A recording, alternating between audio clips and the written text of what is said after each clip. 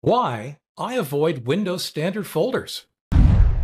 Hi everyone, Leo Notenboom here for AskLeo.com. It's interesting. For years, I mean, literally since, gosh, probably since I transitioned to Windows way in the way back when dark days, I've actually avoided using Windows standard folders. And I'll describe what I mean by those in a minute. Part of it is because I'm a control freak. I want to know where my files are, I want to control where they are, and I don't want other things getting intermingled with my files. In recent years, especially like within the last 12 months, I've really come to appreciate that decision because Microsoft has started stepping on some of their default folders very hard in a way that is actually causing some people data loss. Let's walk through exactly what I mean and I'll describe why I'm doing it. Here we are in Windows 11 and I've got Windows File Explorer open. You can see that I've got quick access here to desktop downloads, documents, videos, music, pictures. Those are the Windows default folders that I do not use.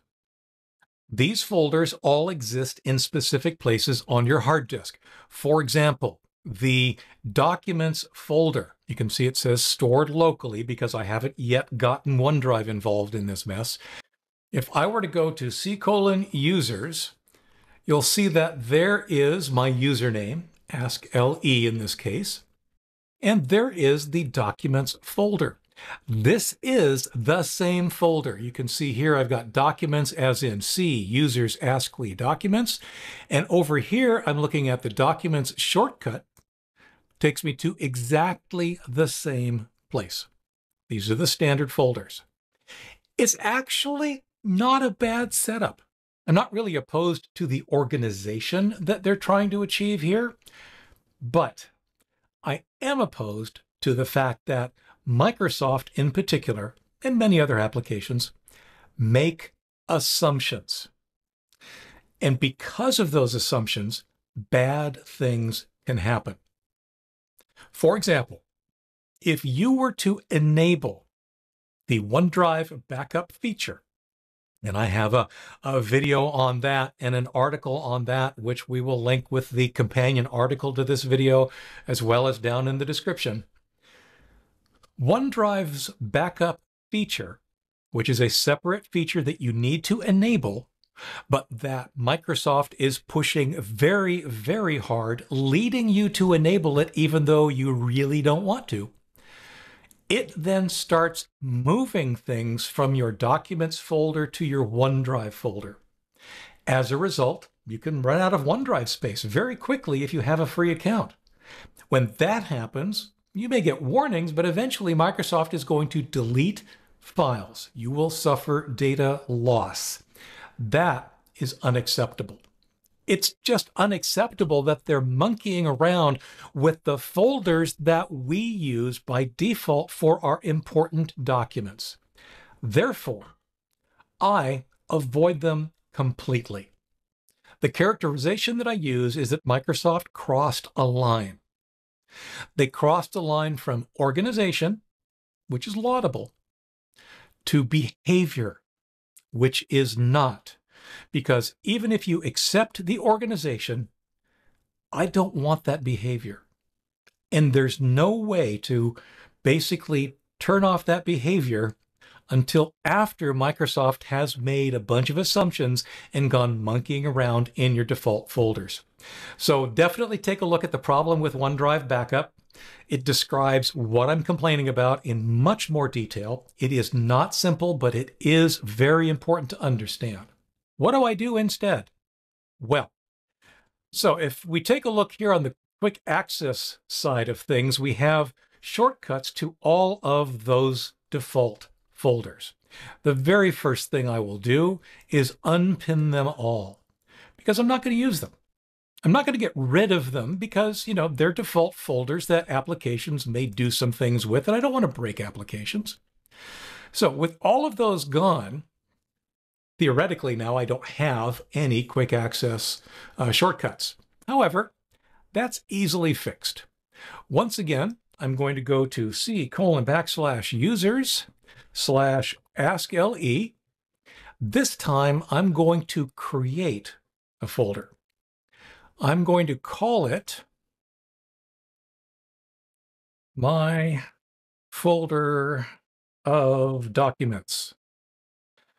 Then I'm going to right click on it and click on Pin to Quick Access. Boom.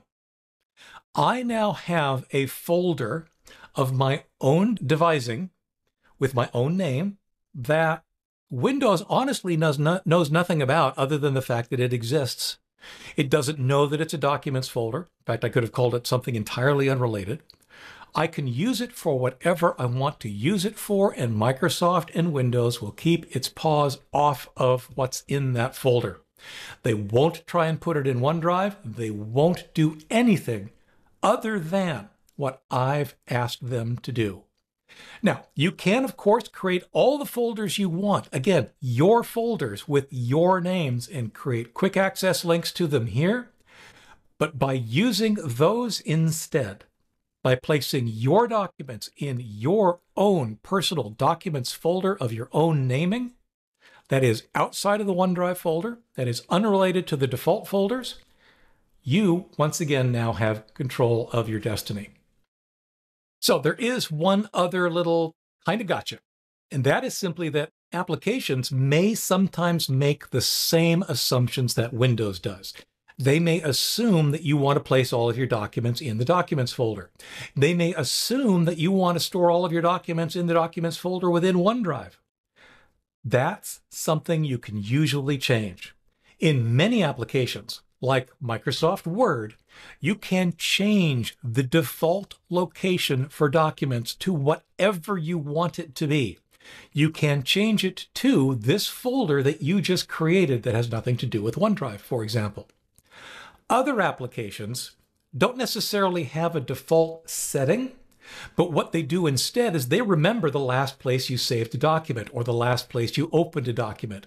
So as long as you do a file save as with your document and save it to the location you really, truly want that document to be saved, then the next time you try and save a document, possibly the next time you try to open a document, it will automatically go to that last place you happen to use.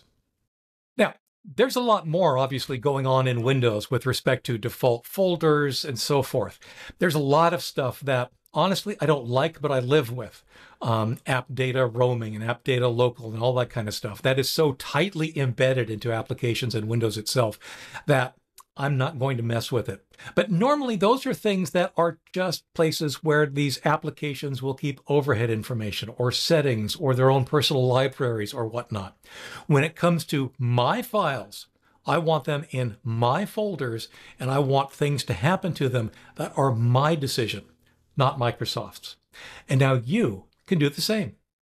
For updates, for comments, for links related to this topic and more, visit askleo.com slash 172543. I'm Leo Notenboom, and this is AskLeo.com. Thanks for watching.